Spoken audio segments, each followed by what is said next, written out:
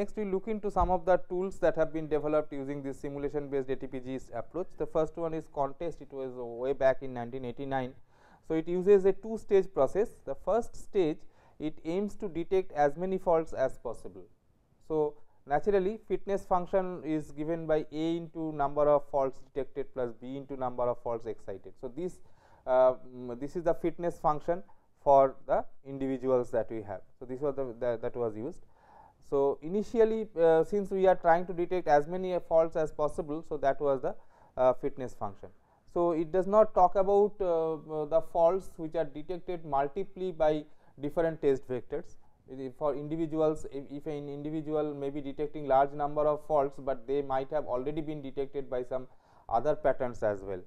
So, uh, these are the problem. The second stage so, the, the first at the end of first stage you will achieve some amount of some rate of fault coverage, but there will be a number of faults which are uh, not uh, detected because they are hard to detect faults. So, this uh, the second stage it will aim to detect the remaining hard faults individually. Now, the fitness at this stage will depend on if the target fault has been excited and how many fault effects are in the circuit. So, these are the uh, this is the fitness function for the second stage. So, it, it, it is targeting only the hard faults, uh, it targets one fault and try to generate individual in that direction. And uh, for uh, so, if whether the target fault has been excited and how many uh, fault effects have been excited in that by that pattern. Okay. So, that way we get the fitness of these individuals. Another one GATEST which was uh, reported in 1994. So, this is a these are GA based ATPG for sequential circuits. So, it uses tournament selection uniform crossover that we have discussed previously. The first phase it talks about initializing the sequential circuits. Second phase it detect and excite as many faults as possible.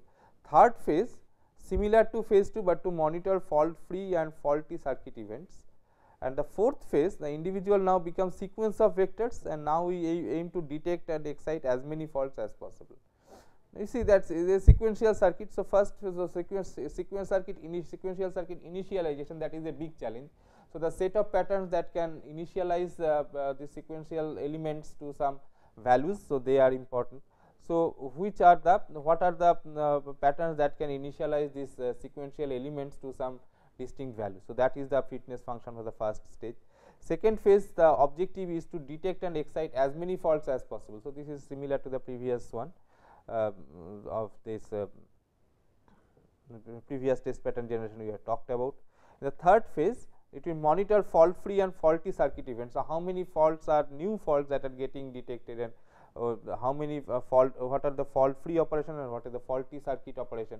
So, between how many of them are different. So, that though that that comes as the cost function and the fourth phase now for sequential circuits we need to apply a sequence of vectors. So, we try to frame the sequence. Okay. Now, so the, the, the individuals they are sequence of vectors. So, and then uh, the, for the for a particular sequence what are the patterns, what are the faults that it can detect and excite. So, this is the fitness function. So, actually in the fourth phase is does the sequential ATPG in the previous stages. So, it is similar to the combinational ATPG. There are uh, some approaches to improve the quality of this uh, solution. Uh, this uh, GA solution uh, produced. One possibility is to seed the initial population. So, wh what we have said previously is that the initial population is generated randomly, but if, if random initial population generation. So, the problem is that it may not have many good solutions in it. So, as a result uh, the evolution becomes a question.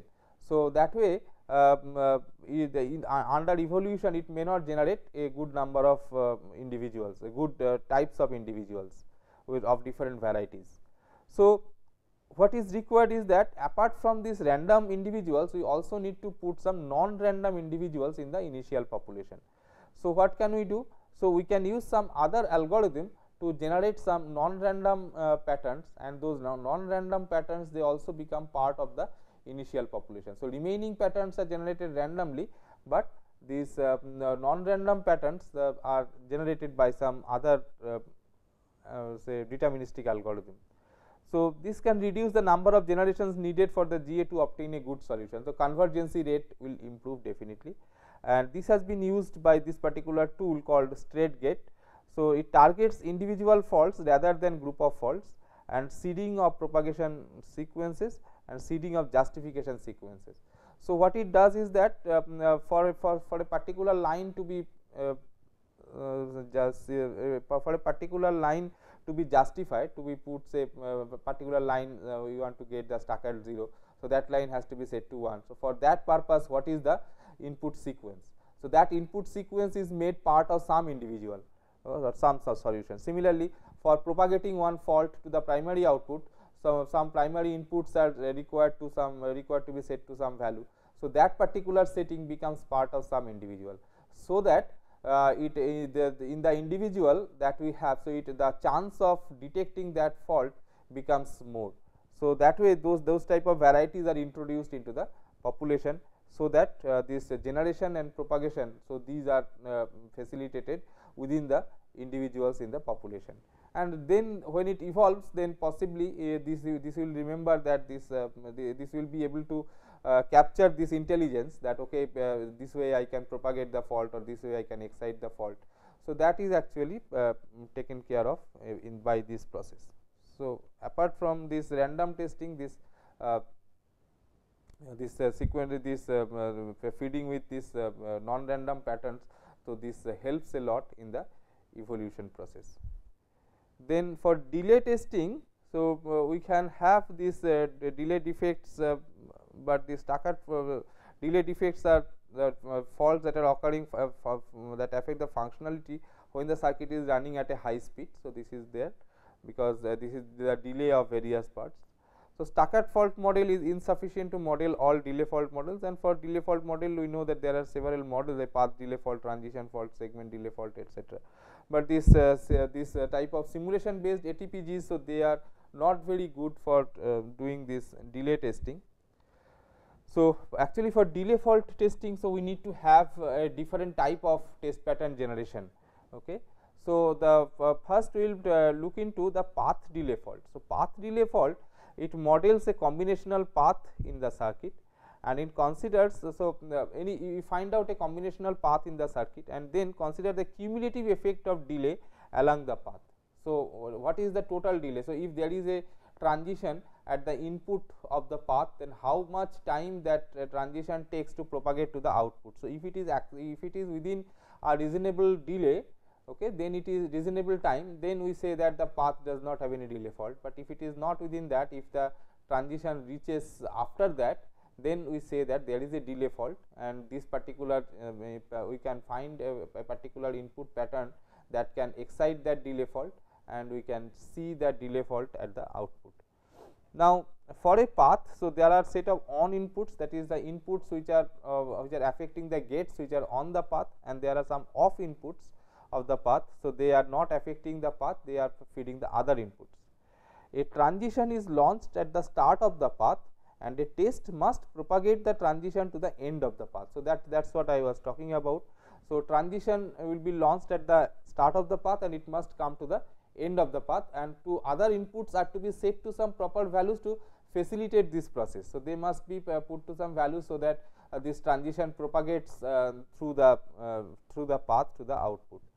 So, there can be two types of faults associated with every path one is called a rising transition another is called falling transition.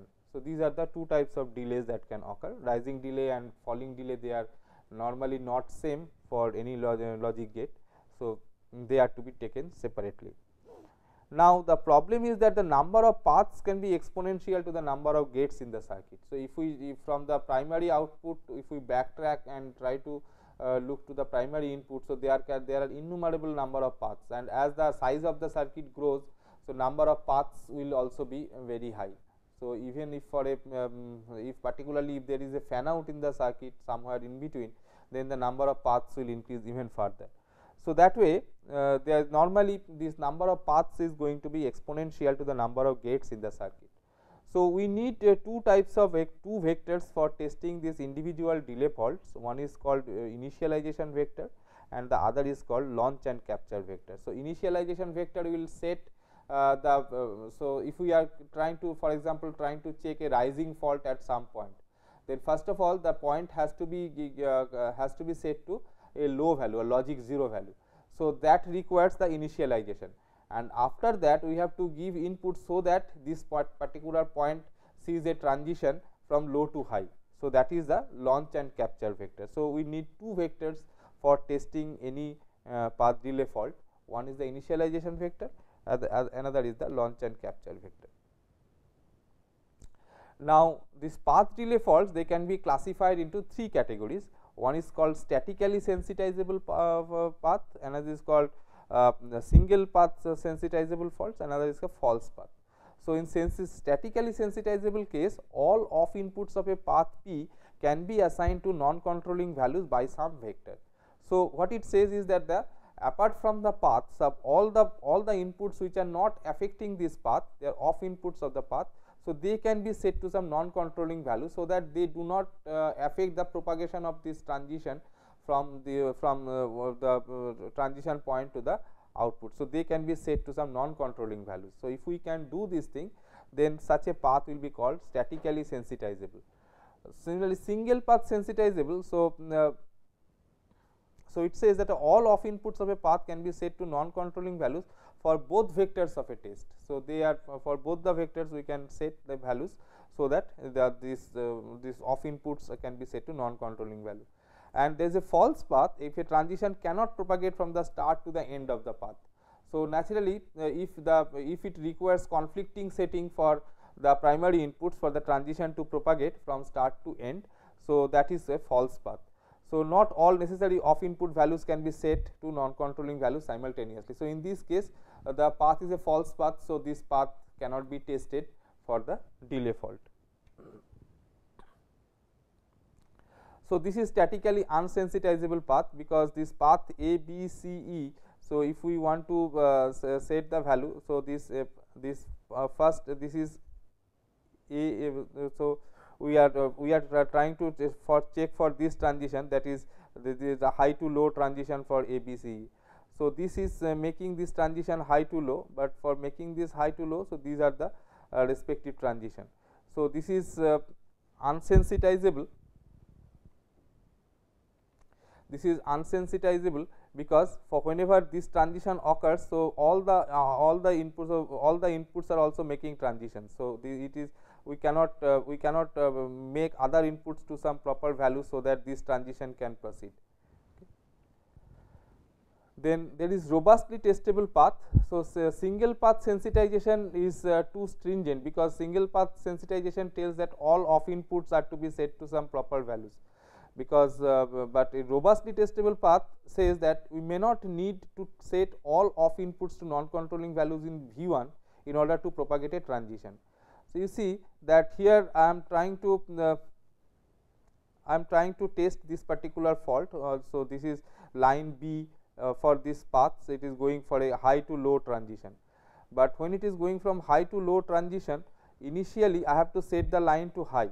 Okay. So, when I set the line to high so, I can uh, this line A and this uh, this this line A need not be set to any value. So, this can be x whereas this line C has to be set to 1 always. So, this is uh, solid 1 or uh, fixed 1 that will be required, but this A line did not uh, for for V 1 the first vector this B line is 1, C line is 1, but this A line need not be set to any value. So, this this does not require setting any value. So, that gives us flexibility and then when it is propagating. Uh, so, and the second vector for the uh, transition vector of course, we have to have uh, this um, uh, this um, a value also set to 0. So, that will be required, but for V 1 it is not required. So, this type of situation this is known as robustly testable path. So, we do not need to set all the off inputs in the V 1 vector as well. So, if a path is robustly testable, then the corresponding test can verify the correctness of the path irrespective of other delays in the circuit. So, this is a result that can be proved that uh, so it can uh, so irrespective of other delays in the circuit. So, we can test this path. Now, what is the value criteria? So, when the corresponding on input of P has a controlling to non controlling transition like say this is an OR gate. So, this when the OR gate is 1 uh, input is 1 so, output is uh, controlled by that input. So, it is having a controlling to non controlling transition you see. So, what it says if it is a controlling to non controlling transition the value in the first vector for the off input can be x with the value for the off input as a non controlling value in the second vector. So, what it says the value of the off input can be x okay. So, for the first vector. So, you see for the first vector. So, I have uh, I have got x for the first vector I have got the other value set to x and it says that off input uh, uh, the in the second vector the off input should get a non controlling value. So, you see for the off input for the second uh, uh, for the second case that is for V 2 b is equal to 0 and this will also this should also assume a non controlling value. So, this has got a 0. So, this is one rule value criteria for robust testable fault. Similarly, when the transition is non controlling to controlling transition. So, it is for OR gate it is going from say 0 to 1. So, that type of transition then the values of off input must be steady non controlling value for both the vectors.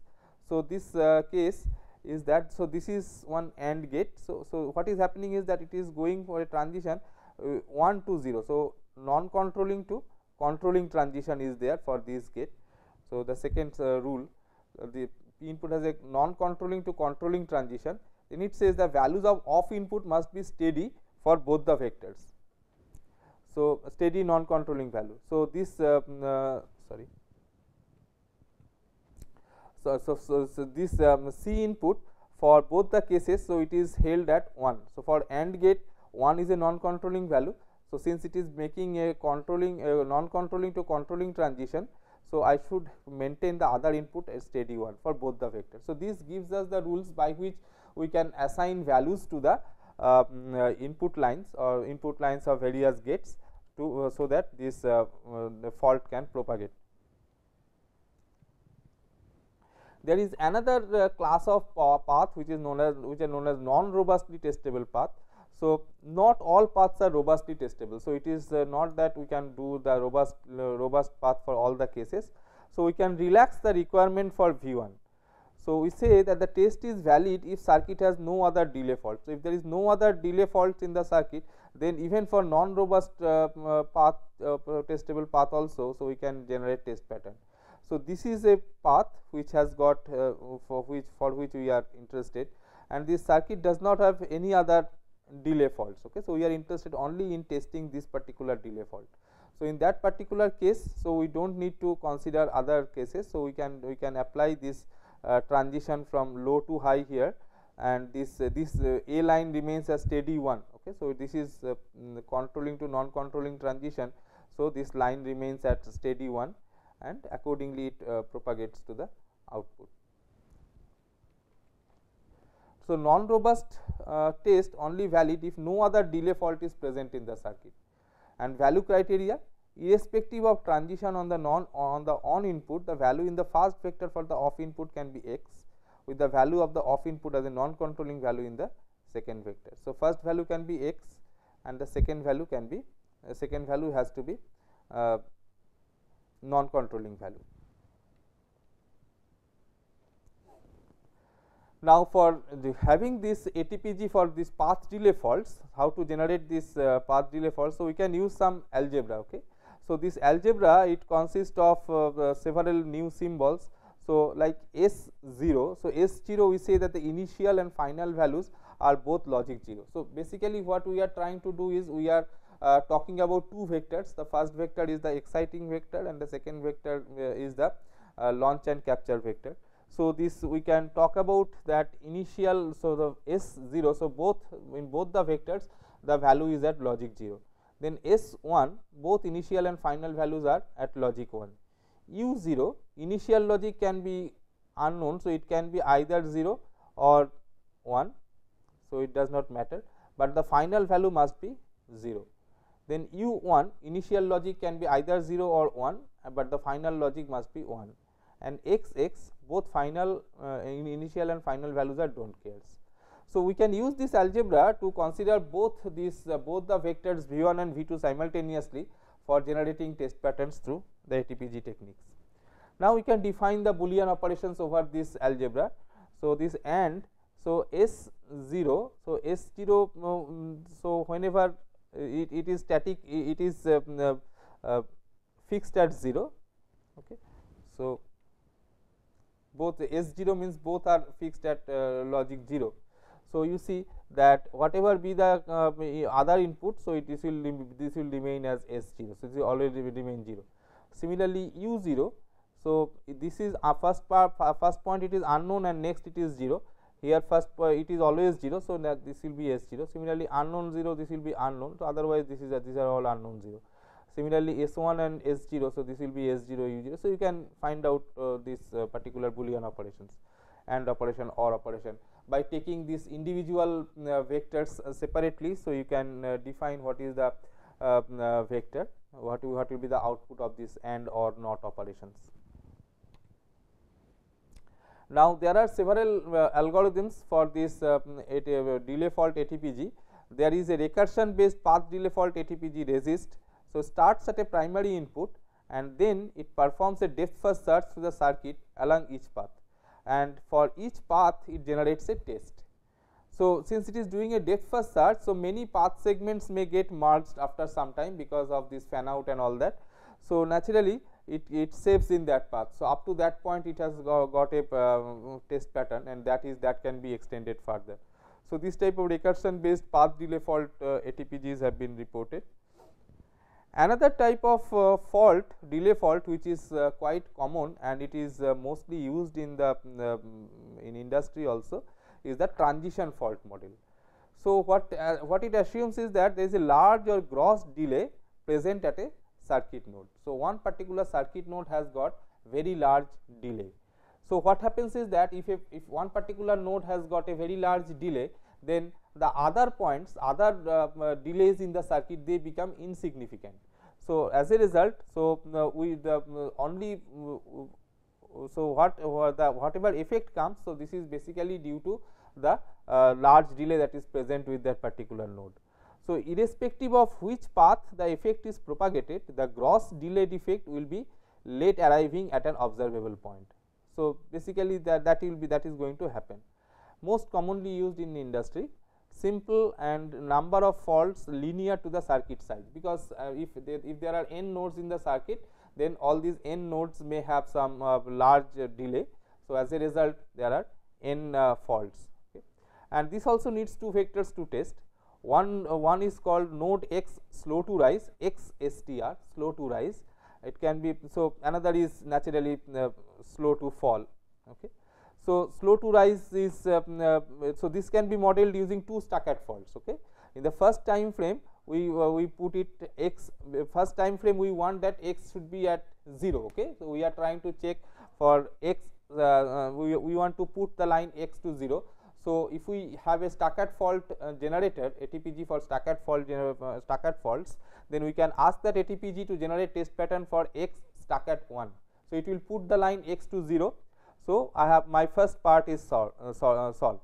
Now, in the second part I want that uh, now this x value should become 1 and that can be done by applying a test pattern which which can detect the fault x stuck at 0 because it will try to put a 1 at that point so, this x stuck at 0. So, the first we need to uh, the in the first time frame we, we, we apply the pattern corresponding to x stuck at 1 and the necessity is that it must uh, it must excite the fault. So, we do not need to propagate the fault to the output at this point of time. However, in the second time frame I want that x stuck at 0. So, that fault has to be excited and propagated because if this is the circuit if this is the circuit and at this point I want to uh, uh, do that x str slow to rise. So, initially from the primary input I have to do something so that this point becomes equal to 0. So, this uh, effect need not be propagated to the output because I do not need to see the output now, but after that I want to uh, put this line high. So, I, I want a low to high transition so, initially I have uh, made the line low and now I need a transition to go to high. So, I need to apply a pattern so that this line is forced to 1 this line is forced to 1 and in that case I would like to propagate this effect to some primary output so that I can see that uh, what is the delay in the process. So, by using this uh, um, ATPG for, for, for stuck at faults, so we can generate these transition fault patterns as well. So, a transition fault may be launched robustly, non-robustly or neither. So, this is a typical result. So, here there is a there is an example of this slow to rise at the output of OR gate. So, this OR gate output. So, this slow to rise fault we want to capture. So, for that pattern, so you see that we can we apply uh, some ATPG. So, that first it makes this uh, line stuck at 0 accordingly the test pattern is generated which will make this line high and this line will be maintained at 1 these are the two primary inputs and after that it will uh, I will generate this ATP, I will run this ATPG for generating a stuck at uh, 0 fault at the output of the OR gate and the stuck at 0 fault. So, it will uh, try to put a 1 at this point accordingly it will uh, it will make this line low and this line will continue to be 1. So, this way using this uh, stuck at fault ATPG we can generate the test pattern for transition faults. A transition fault may be propagated robustly, non-robustly or neither. So, that is also that is also another property. So, slow to fall at output gate A. So, this is basically uh, say uh, so this output. So, this is slow to fall we want to get. So, first we make it 1 and then we try to uh, get a 0 there and then uh, by, by using the similar method that we have discussed. So, it, it can it, so it is propagated basically in a um, in a in a robust fashion where this path has, has been put put to some proper value. So, transition fault testing with stuck at ATPG. So, simply treat each transition fault as two stuck at faults and it can test it with in a, in a broadside skewed load or enhanced scan. So, there are various types of uh, um, uh, this uh, launch capture methods uh, by which we can uh, do this scan testing. So, all of them can be used uh, for the transition faults as well. There are certain properties of this uh, stuck at fault uh, chaining, the chaining of the stuck at vectors. So, suppose I have got three vectors v i, v j and v k and uh, out of them we form two vectors v i, v j and v j, v k. Then we can come up with a result that says that the transition faults detected by v i, v j and uh, v j, v k are mutually exclusive. Why? Because v i, v j any transition fault any say slow to rise or slow to fall transition fault this will uh, put Vj the Vj will take it to some value in the first pattern. In the second case if it also the second pattern also detects this fault then the requirement of setting uh, of that particular line by Vj in this and this. So, they are contradictory because if it is a say a slow to rise type of fault that is detected then Vi has put it to 0 and Vj has put it to 1 now, if this pair also detects that particular fault then Vj will put put the line to 0 and Vk will put the line to 1. So, but Vj uh, that is the contradiction like here Vj is making it 1 and here Vj is making it 0. So, that is a contradiction. So, it is not possible. So, any pair of uh, vectors that will always detect some mutually exclusive set of transition faults. So, if you have got a set of uh, uh sequence, if you have got a sequence of uh, mm, vectors uh, for this uh, stuck at vector, uh, vectors then you can just you just make two two pairs okay? Two consecutive ones makes a pair so that way if you do it then you, you can detect a large number of transition faults as well because each of each pair will detect some mutually exclusive set of uh, faults. Next there is bridging fault. We will do it in the next class